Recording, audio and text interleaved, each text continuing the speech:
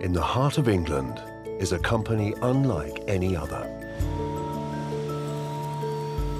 It's famed for its achievements in engineering and design. It has been driving innovation for over 80 years.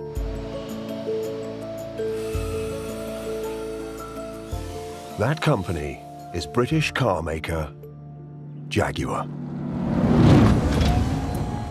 Now, it's embarking on its greatest ever challenge. Going electric.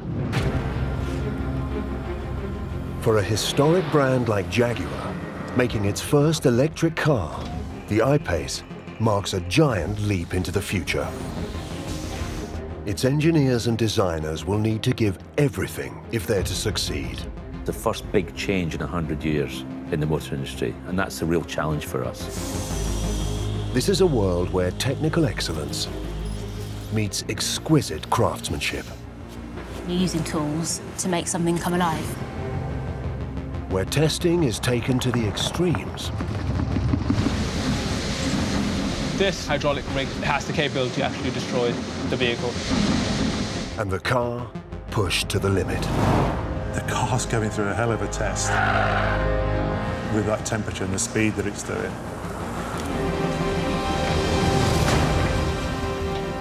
With exclusive behind-the-scenes access to Jaguar's state-of-the-art engineering laboratories and top-secret design studios, this is the story of how Jaguar set out to make the radical new I-Pace. If somebody had said to me one day, 50 years from now, this is what you'll be doing, I'd have found that very difficult to believe. And of the change it heralds for society.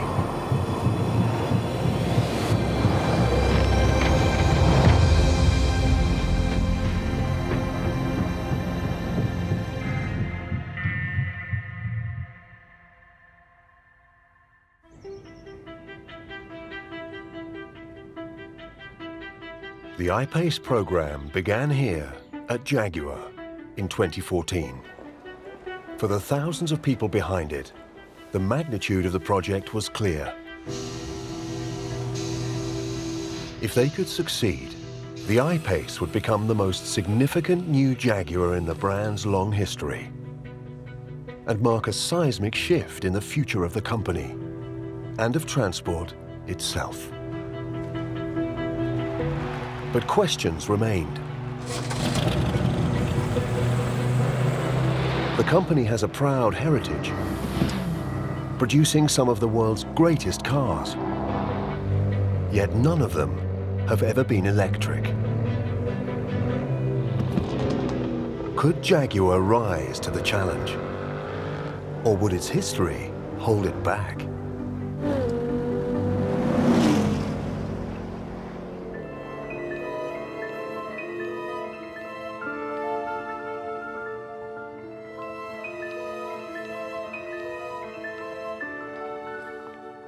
The man tasked with designing the I-Pace was Ian Callum. He's been Jaguar's Director of Design for nearly 20 years. And with a classic car collection of his own, he's a petrol head through and through. For him, heritage is something to be celebrated and to learn from. A car designed as a beautiful car will always be beautiful. It's that simple. And these, to me, are beautiful cars. And you know, I enjoy their very existence. I probably don't drive them enough. I probably look at them more than drive. I probably clean them more than drive them. But they're significant to me in that I just enjoy the aesthetics and I enjoy what they stand for in the history of these various brands. Ian's car collection is varied, to say the least.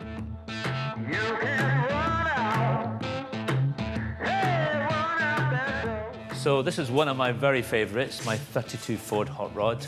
Great looking car. I've spent many years building this and rebuilding this with various friends to get it to the state it is today.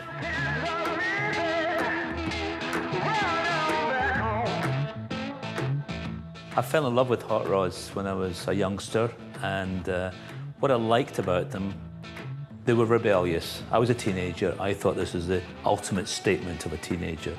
So I wanted to have a hot rod because it, it flew in the face of convention. Back then, despite his obsession with hot rods, one brand stood out for Ian more than any other. I fell in love with Jaguar at a very young age, and I think probably because it was the most significant exotic car I would see in my everyday life growing up in a small provincial town. There were Jaguars around, and I wanted to be part of the Jaguar world. So I wrote to Bill Heynes, who was the vice president of Jaguar Cars at that time, 1968. And uh, I wrote to him and said, How did I become a car designer? And uh, I sent him some drawings, and he wrote back. So this is what the letter says. It says, Dear Ian, I thank you for your further letter and drawings, which I have looked at. It is apparent that you intend to enter the styling side of the industry, and in course of your career, it would do well to take some art training. The drawings he sent back, they're here. I still have them.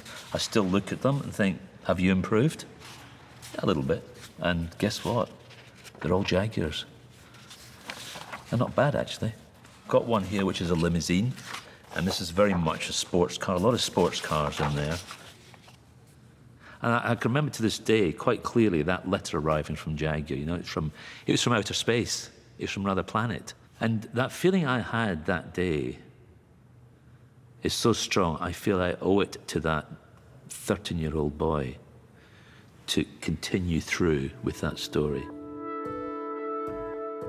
Inspired by the letter, Ian went on to design and work on cars for the likes of Ford, Volvo, and Aston Martin.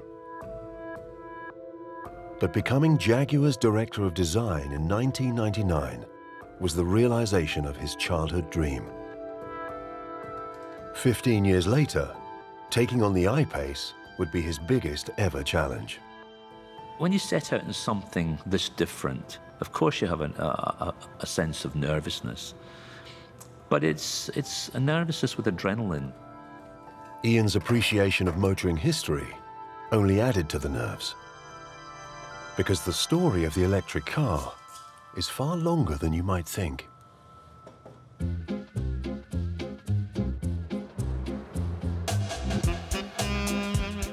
The first practical electric vehicles were developed in the 1880s. And by 1897, fleets of electric taxis were working the streets of New York and London. By the turn of the century, electric cars were outselling petrol cars in America. The world land speed record had been broken by an electric car in France. The first ever car to exceed 100 kilometers an hour. And within a decade, electric cars were driving 100 miles on a single charge. Surely they would play a major role in the 20th century. But it was not to be. Back in Detroit, Henry Ford wondered how he could bring the price of the Model T down to where everybody could buy it. In 1908, Ford launched the petrol-powered Model T. Within 20 years, the company had made 15 million of them. And the success of the internal combustion engine had all but killed off the electric car. For most of the 20th century, the majority of the world's battery electric road vehicles were things like British milk floats. But then came American electric car maker Tesla. I've got an enormous amount of respect for Tesla. They made it respectable, they made it cool, they made it fashionable.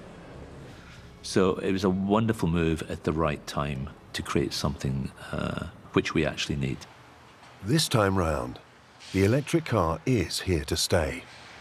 The question was, could a relatively small and historic firm like Jaguar successfully bring one to market?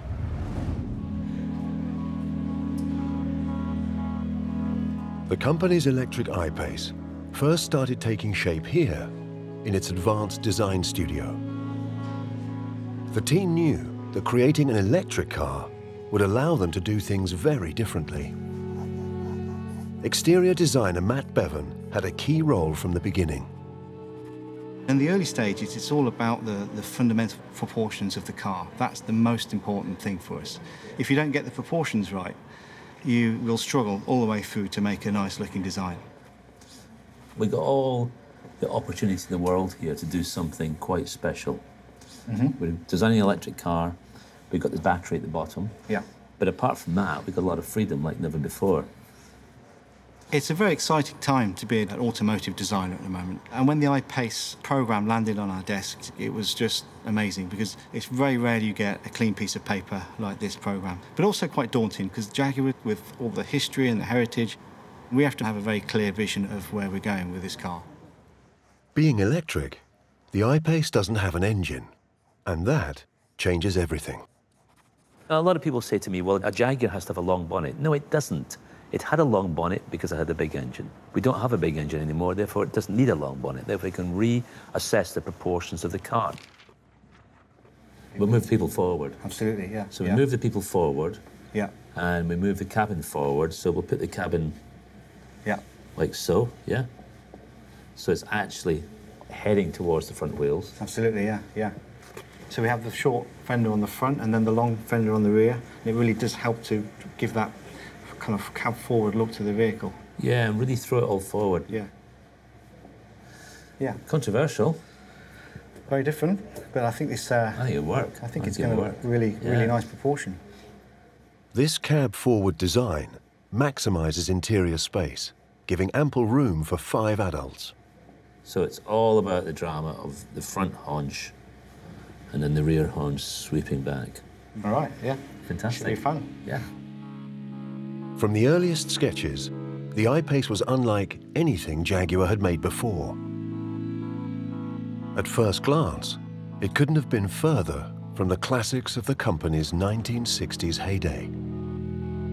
But Jaguar has always embraced the future. When you look at the classic Jaguars like the E-Type, they were very revolutionary in the time. They never looked back too much. They always looked forward. And so that's our motto really here. This is all about creating new designs and exploiting new technology. A Bit more. Sit. The most significant piece of new technology in the I-Pace can be found here. Right, let go. This is the long-range battery around which the car will be built. Stop there. For a company famed for its internal combustion engine cars, nothing could be more representative of the future than this.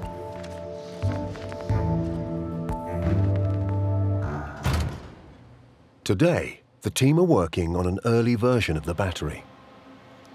Lead engineer Dr. Danson Joseph has played a crucial role in its development. So this is one of our early prototypes of the battery. It's fairly large. It basically fits from the rear wheels to the front wheels. So the lowest point of this battery is the lowest point of the vehicle. Known affectionately as the skateboard, the low-slung battery is what provided the designers with such freedom in their quest for the perfect design. But getting this far was no easy task.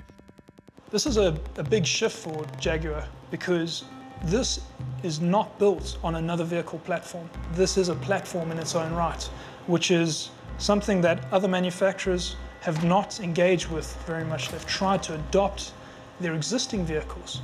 Jaguar has taken the approach of an electric vehicle is a different vehicle, let's make it differently. So we've had to understand new ways of manufacturing, different ways of assembling elements of this pack that makes it good for manufacture, good for service, but simple enough that it won't fail. At the heart of the battery are 432 temperature-controlled pouch cells, designed to give the car a range of 292 miles and recharge to 80% in less than 40 minutes. So we've got to a point where the range of an electric vehicle is something that people can relate to their daily lives.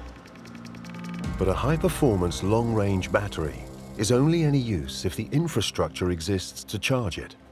And not just at home, where the vast majority of charging occurs, but out in public. Right across the country, which is where the contents of this box comes in. John and Jason are in Dorset, heading for the market town of Wimborne. Their job today will see the UK's public charging network grow a little further. Up ahead, their colleague Tom, an expert in the nation's electric infrastructure. In terms of the charging point infrastructure, uh, we've gone from around 3,000 public charging points in the UK to around 16,000. Tom and the team work for ChargeMaster, one of a number of companies installing electric charging points nationwide. With rapid growth in the number of electric cars, it's a job that keeps them busy. Today they're installing two chargers in a school car park. Hi guys. Oh yeah, good morning. This is Jason. How are Hi you? there. Hi there. We've got two cables here. Uh, we've got a rapid charger cable on the left there, so that's your sort of short stay bay. So typically with a rapid charger, you're looking at about a half an hour stay, 80% full.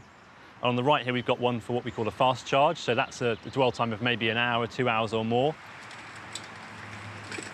The electricity will be drawn directly from the UK's national grid. We've got the, the high voltage cable map here, so we're, we're just about here. You've got a substation just over there, uh, and that's where effectively the high voltage system's coming in. So there's actually a cable that's running under the road over there and to those units. From its beginnings in 1926, the national grid electrified the country.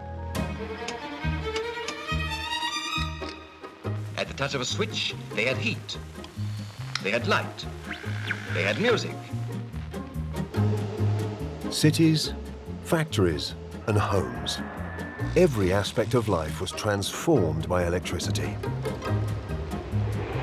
Except one. It is only now, in the 21st century, that the grid is powering large numbers of cars. But the novelty should soon fade. If you think about it, a rapid charge is just another piece of electrical equipment. We put electrical equipment in our houses, we put it in commercial applications. So really, it's not any different other than it's a different type of electrical equipment.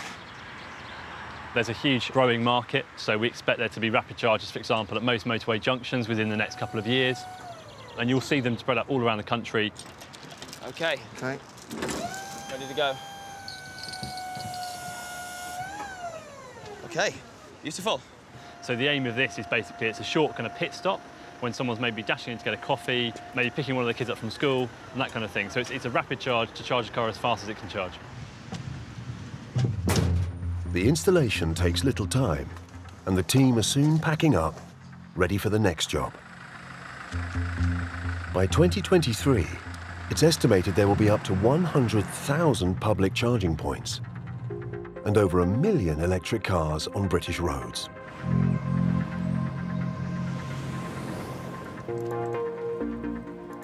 Back in the design studio, Ian and Matt's early sketches of the I-Pace are being converted into 3D digital models using CAD software.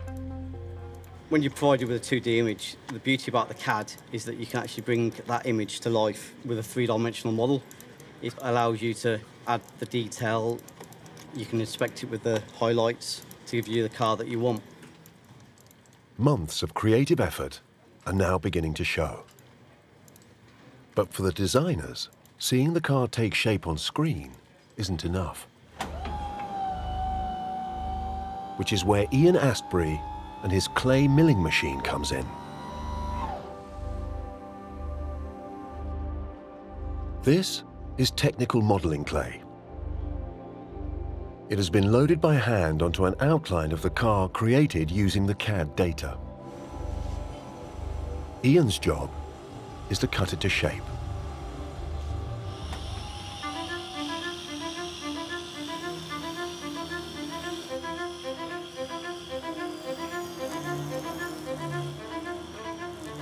From start to finish, with rough cuts and finish cuts, we could probably do a full car in about five days. The drill bit follows a pre-programmed route, shaping the car with utmost precision. This has got people's handprints on it and thumbprints on it and hard work and sweat. It is great to see it coming out of just a lump of clay. You can't get a sense of what it's going to be on a screen. I feel like it's an important moment because it's, it's the birth of something, really, isn't it? And it's fantastic to see models that um, in the next few years going to be on the road. And being part of that is awesome. But the final crafting is not a job for machines. It's really important for us to be able to use our hands to figure out what's going on. You know, for me to just run my hand across that, I'll be able to tell what's going on, where the clay needs to come out, where it needs to go back on.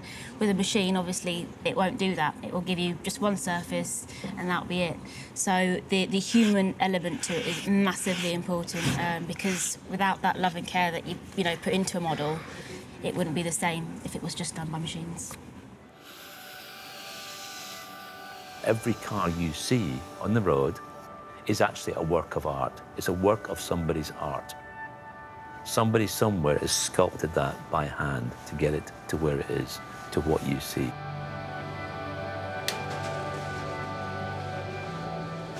The team work with clay created especially for the automotive industry.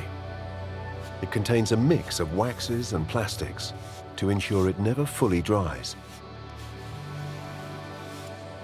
It's more of an art form than technical, I would say, because you're sculpting clay. You know, you're sculpting a car. You're using clay and you're using tools to make something come alive. It is a sculpture in a sense. We've got a lot of younger people coming through now, and uh, we're training them up to have the same passion as the, the guys I grew up with and, and knew. And they are real artisans. They can really move and sculpt that clay with loving care.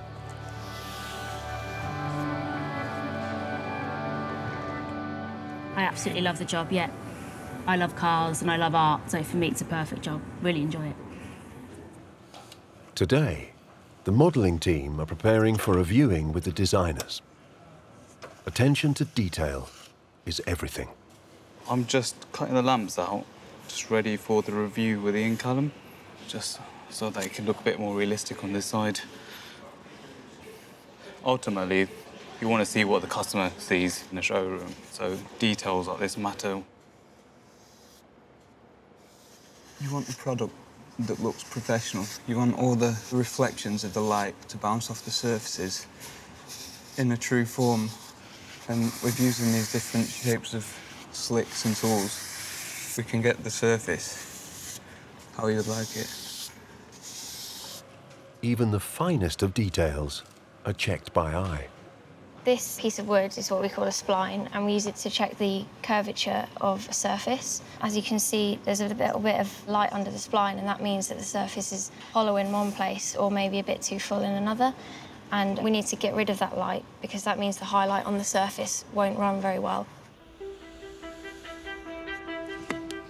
It's taken days of dedicated effort, but finally the clay I-Pace is ready. For the design team, regular viewings with Ian are an opportunity to discuss the smallest of points. Hi, guys. Hi. Hey, you all right? You all right? Not too bad. Good. Not too bad. Yeah. Okay, what do you think? What I think? I think it's fantastic. Absolutely fantastic. The definition of the cabin and the haunches sits just right. No, it's super, super. It's got all the power towards the front. And uh, yeah, I love it. I really do. There's some subtle things we need to change. Yeah, yeah, yeah. It's, yeah, it's definitely getting there.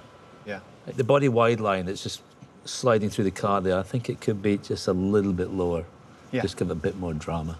Just a yeah, few I was. I was thinking if we hold this edge here, like that, Okay. and then come down here. Yeah, that's it. Then you're going to drop it slightly. Yeah. Okay, so we've got a little bit more drama in it.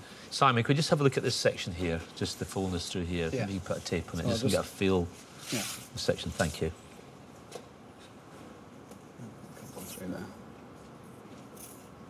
Okay. I'm just wondering whether it might just be a little bit too full. Just on here. Yeah. Just go for it. That's it. How much do you want off? About a millimetre, I'd say, Okay. millimetre and a half. I love the artistry of it. I love the idea that we uh, understand these surfaces as a piece of sculpture and we can see it evolving in front of us to get to the right shape. We're getting closer to the car that's inside this that we need to get to.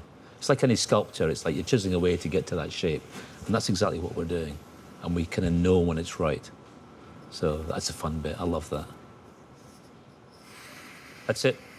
Okay. Excellent. Well done. Shall we uh, check the highlights on that one? Yes, please. Yeah, absolutely. Yeah.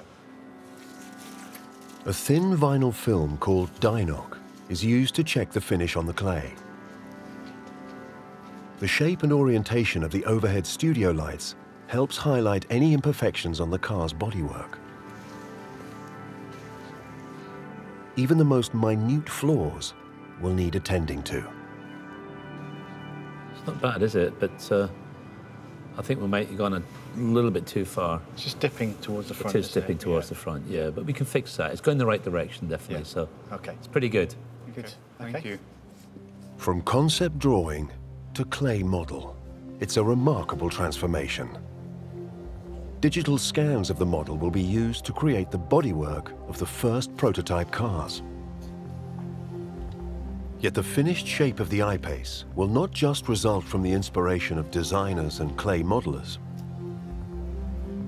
Engineers will also play a crucial role. And for many, like Imogen Pierce, inspiration starts young.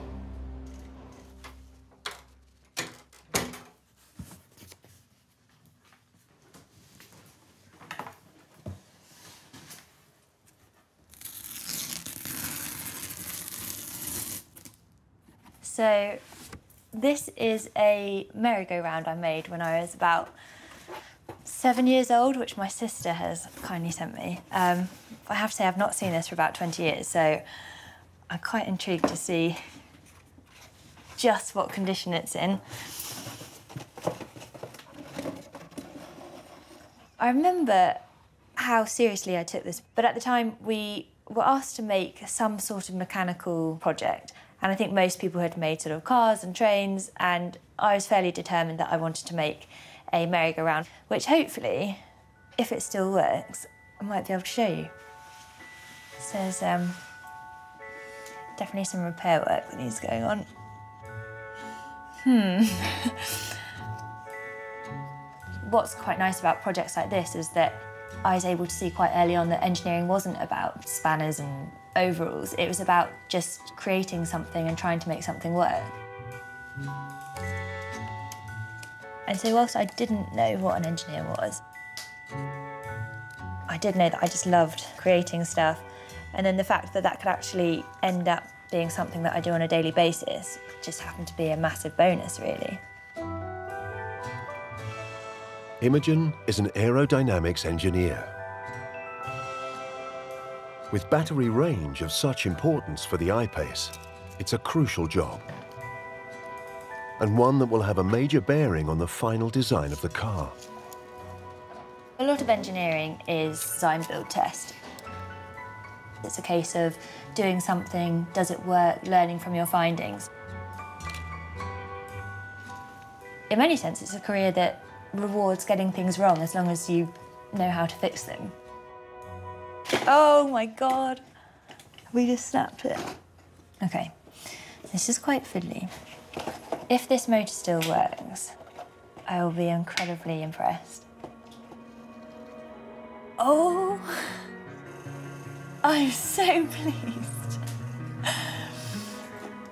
Okay, when you make something like this, it was a real labour of love.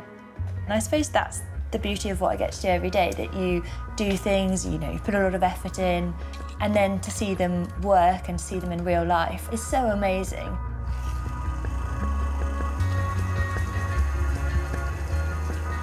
Which I'm very much getting now that I've got this to work as well.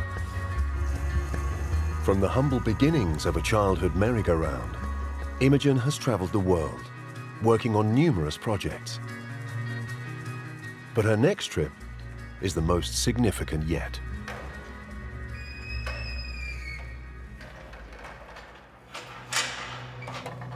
she's come to Germany for a crucial experiment, one that will influence the shape of the I-Pace and the range from its battery.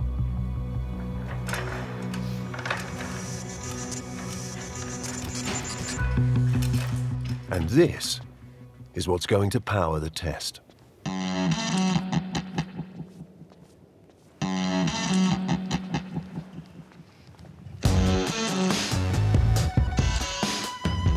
This is a full-scale wind tunnel, which can go up to 260 kilometres an hour. And it's something that is controlled just by a press of a button, so until you come in here, you have no idea exactly the sheer size of what's behind your test. And this really allows us to identify where key tweaks and changes and how they're impacting the rest of the flow on the vehicle. It's a really, really powerful visual technique for that. This is one of the first prototypes that we actually built with a real bodywork, but we still have some prototype parts on the car itself. We've done lots of work on clay models, uh, calculations, but now this is a real car. Truth time.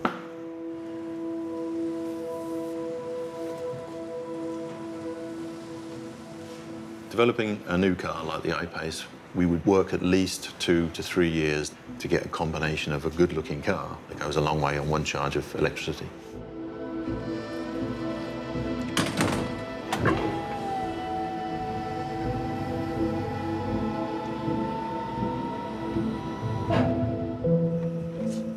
Us when to stop. It's our first electric vehicle, which means that something like aerodynamics is even more important. So, yeah. Good. We have to try and optimise it as much as we possibly can. Even millimetres of changes hugely impacts the range of the vehicle. We're looking good? Yeah.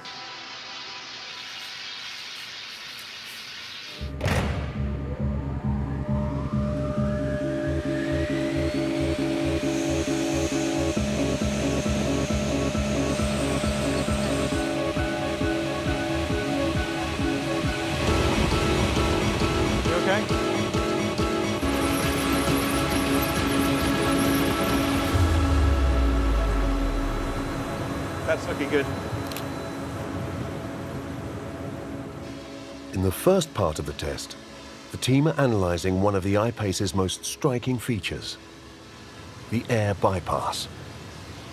The bypass, it's oh, definitely working now. Yeah. Oh, lovely. That's really... Yeah. With no engine, the air flows in through the grille and out through the duct.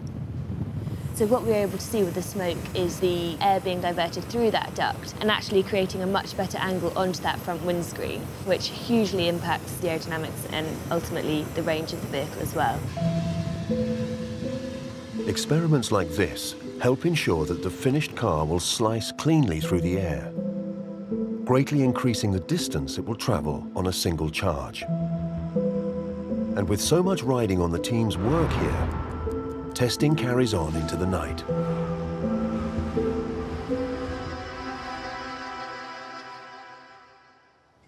Sometimes end up doing the night shifts, um, which can be a bit intense, but there are an awful lot of snacks to keep going. So uh, there's no risk of running out of biscuits. The hours are long, but for Imogen, working as an aerodynamics engineer is something her seven-year-old self could only have dreamed of. Can we see the um, interaction with the front wheel deflector? Yeah.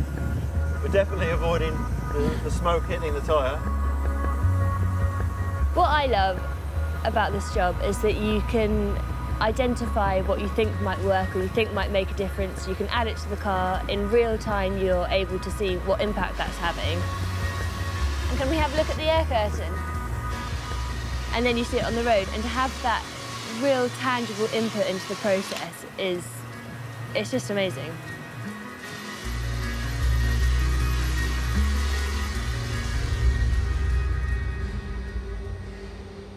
Back in the UK, the engineering team are working flat out on the I-Pace. It's now summer 2017, and they know that with every passing day, the public is becoming increasingly aware of the benefits electric vehicles will bring.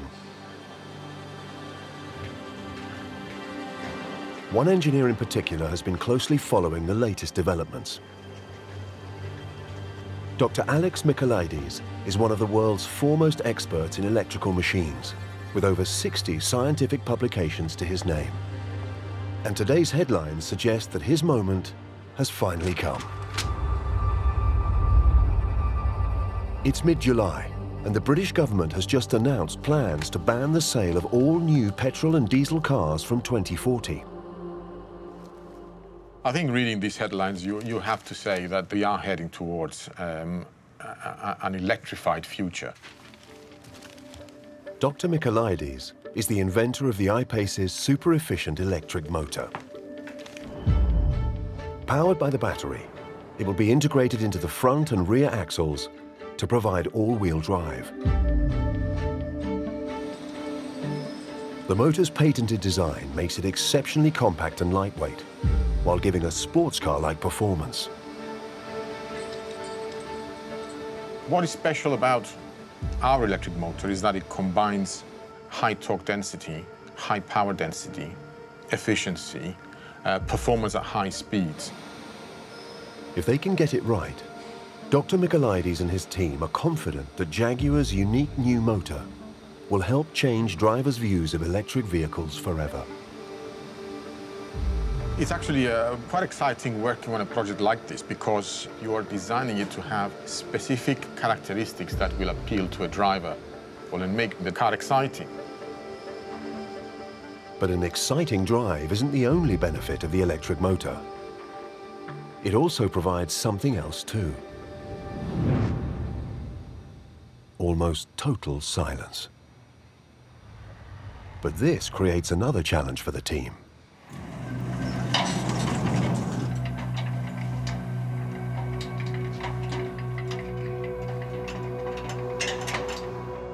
The I-Pace is so quiet that exterior noise could easily spoil the cabin's tranquility. So engineers are trying to identify where sound might enter the car.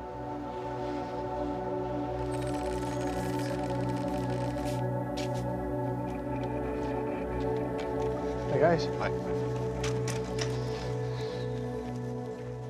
What we have here is an acoustic camera. So for instance, if I was to click like this, it moves to my fingers because of the high energy level created at my fingertips.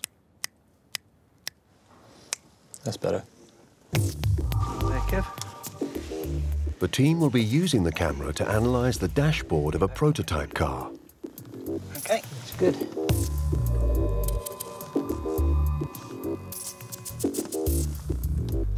It just needs a tiny tweak towards the steering wheel. That there is the perfect view, wherever you've got that. Yeah, cool. That's perfect. Okay, mate, you're good to go. Okay, Kev, firing up the rig.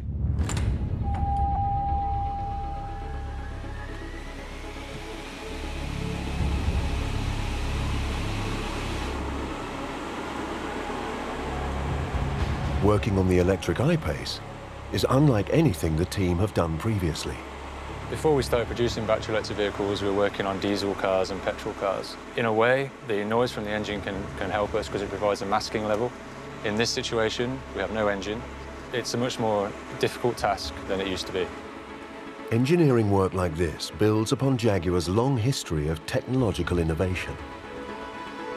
Ultimately, our aim is to create the most refined battery electric vehicle on the market today. Whether that's road noise, motor noise, wind noise, anything, we need to just get down to as low a level as possible. But making a near-silent electric car creates another challenge. Like all Jaguars, the I-Pace is designed to be fun. Ian Suffield's job is to ensure it sounds fun too. When you remove the, the engine noise from the car, what you've lost is the engaging and the dynamic reward that you get from driving. The sound is what rewards people. When they discuss good sounding cars, it's all about the engine note and the fast revving and the, from the race car type snarls through to the powerful V8s.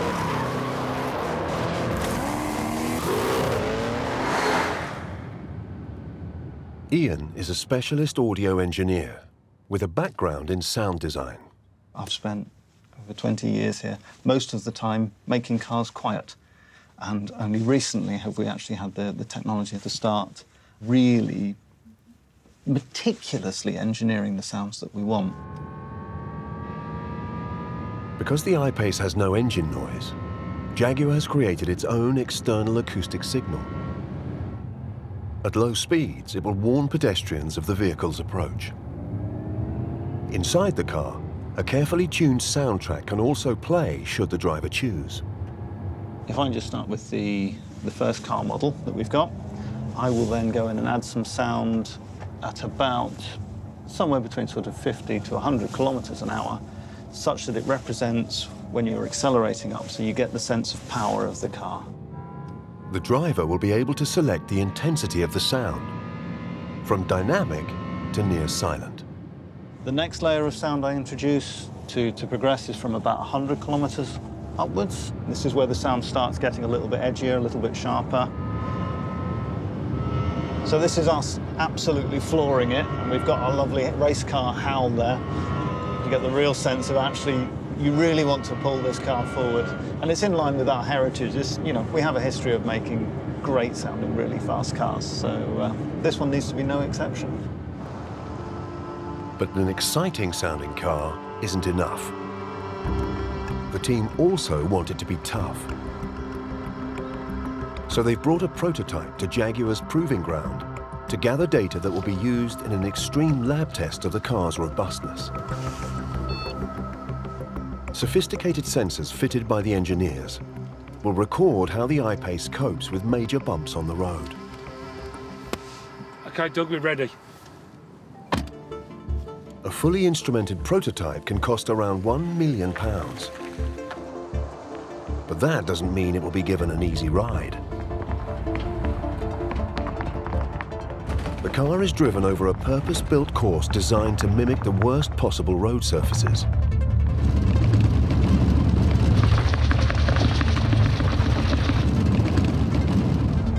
The onboard sensors constantly record the movement of the wheels and suspension. 84,000 recordings are made each second, providing the real-world data needed for extreme testing. Back here at Jaguar's structural test rig, where the team are preparing an I-Pace for a high-tech and high-impact experiment.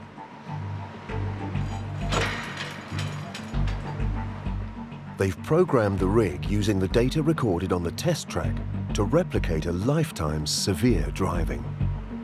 This hydraulic rig simulates the road.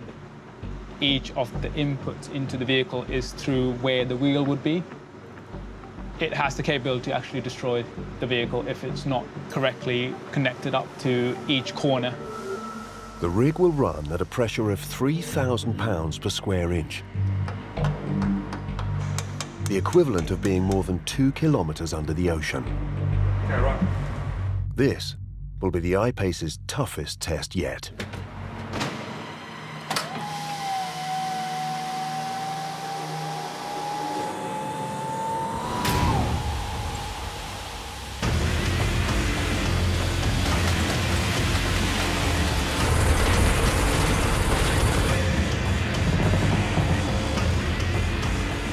Car will be given no respite.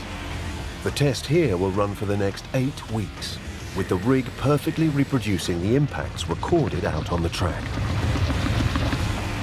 We test it thoroughly before it goes to the customer, so we know that we are confident with the durability of the vehicle.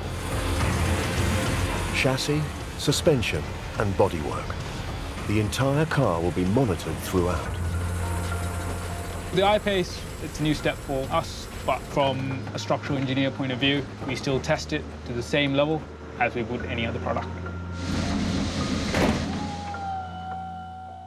But there's more to this car than its robustness.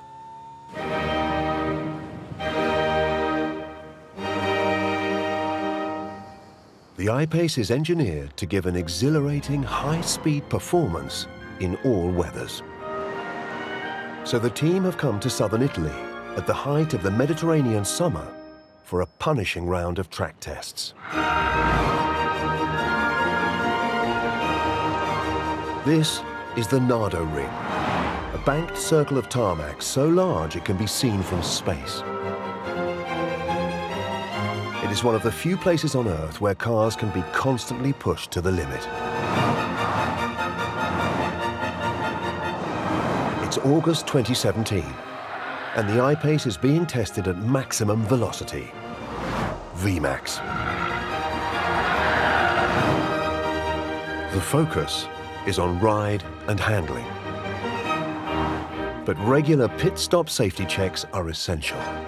Okay, yeah. Clear. Okay. Clear. Good drive. Yep. It's quite breezy out there, but the car feels good and stable at VMAX. Track temp, ambient temp. Yeah, 34 degrees. Okay, yeah. Okay. Okay. With the temperature rising through the mid-30s, Okay, your side? Yeah, okay, this side. the team carefully monitor the heat generated by the car's constant high-speed cornering. The car's going through a hell of a test with, with that temperature and the speed that it's doing. So we have to keep a, a close eye on the wear and tear of the brake pads. Some of them can reach up to 650 degrees. The car is in and out. We've got four guys each corner of the car. And then when we drop it down and we're all happy with the car and it's safe to go, no issues, swap drivers, it's straight back out. Coming down. It's hot, tiring work. You ready, Steve? Clear. Yet the team are determined that the I-Pace will handle as well as any conventional sports car.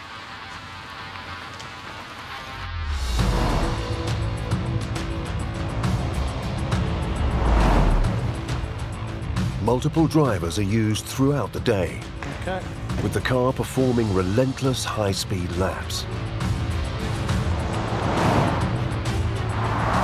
But Italy was only part of the story. Mate, good to go. Over the next six months, the team worked on a grueling test program, covering every conceivable terrain and clocking up 1.5 million miles worldwide.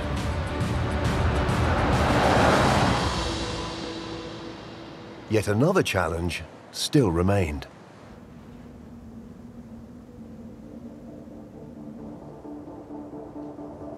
It's now January 2018, and the I-Pace has arrived in northern Sweden for driving dynamics testing on the region's frozen lakes. With only about four and a half hours of daylight, and temperatures approaching minus 40, it's an opportunity to validate battery performance in Arctic conditions, and an extreme test of the car's all-wheel drive system.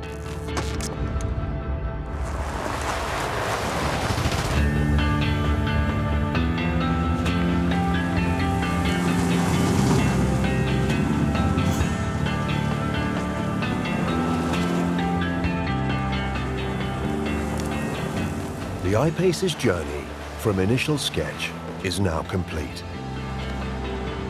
More than four years of dedicated effort have resulted in an all-electric performance SUV with a 0 to 60 time of 4.5 seconds and a top speed of 124 miles per hour. It's a world away from the traditional Jaguars of yesteryear. There's only one more job to go. Manufacturing. It's now February 2018. At the factory where the I-Pace will be built, production is ramping up.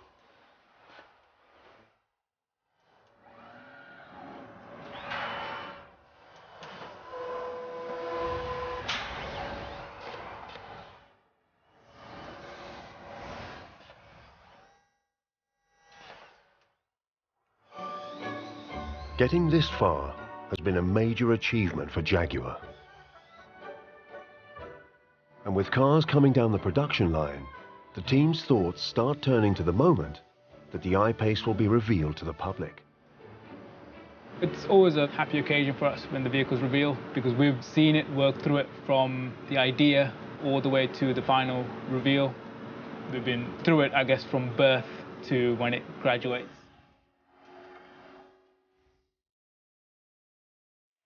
Something that you've worked on yourself, you know, and had input in is it's a really, really amazing feeling. You feel like you've sort of achieved something.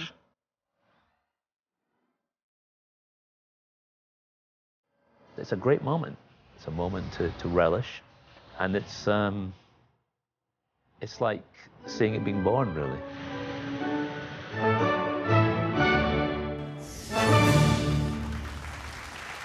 Ladies and gentlemen, the reason we are all here today, please show your appreciation for the stunning new Jaguar I-Pace.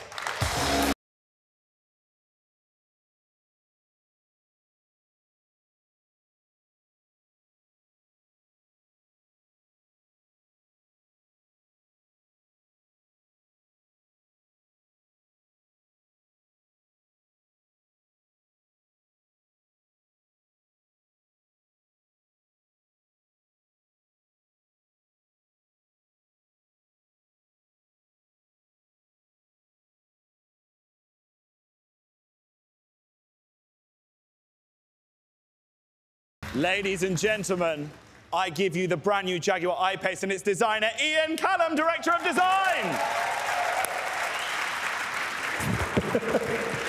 wow, wow. Can I just say, so damn stylish. You must be so proud. It looks very it looks proud. amazing. We're all very proud of it, yeah. It's been a momentous few years. The car that electricity has been waiting for. But for Ian, there's one final part of the journey to go.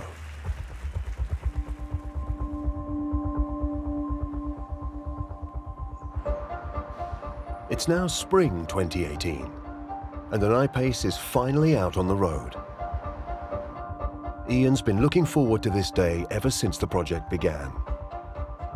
So this is actually my first time on the public roads in an I-Pace. And I have to say, it feels absolutely wonderful. I feel immensely proud, of course. But it's also a very pleasurable car to drive. How smooth is that, eh? The serenity of it, the quietness of it, is something that uh, is very obvious when you first drive it. Also, the acceleration of it is instant. It's amazing.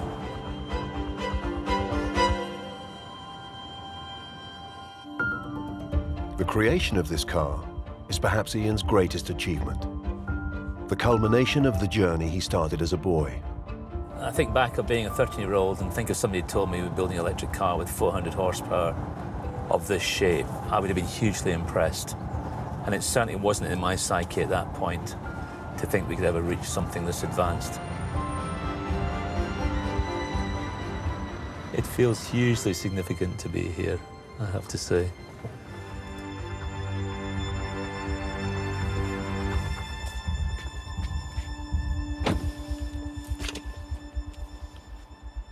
But the significance of the I-Pace's launch goes much further.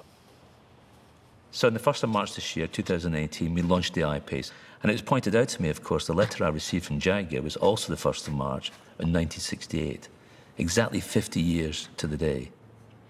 If somebody had said to me, one day, 50 years from now, this is what you'll be doing, I would have found that very difficult to believe. All I wanted to do was to sit in an office and draw cars and design them. I never really dreamt that I would be director of design for Jaguar, for one thing. And I certainly never dreamt I'd be designing futuristic electric cars. Yet the story of the futuristic I-Pace doesn't end here.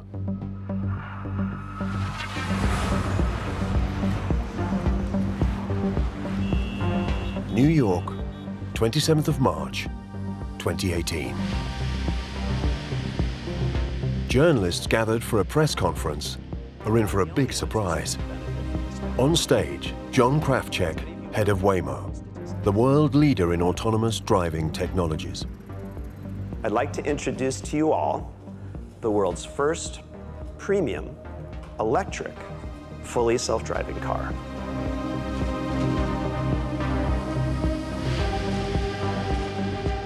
We're going to design and engineer a self-driving Jaguar I-Pace equipped with Waymo technology. For Jaguar and its engineers and designers, the I-Pace is only the beginning. What's fascinating about it, as it evolved in front of us, when we got to, to the, the final stages of I-Pace, I started to realize something. This is a template for the future. This is it. This is a point of change that we must grasp and make the most of. This is the future Jaguar. This is the car that will take us into the next generation.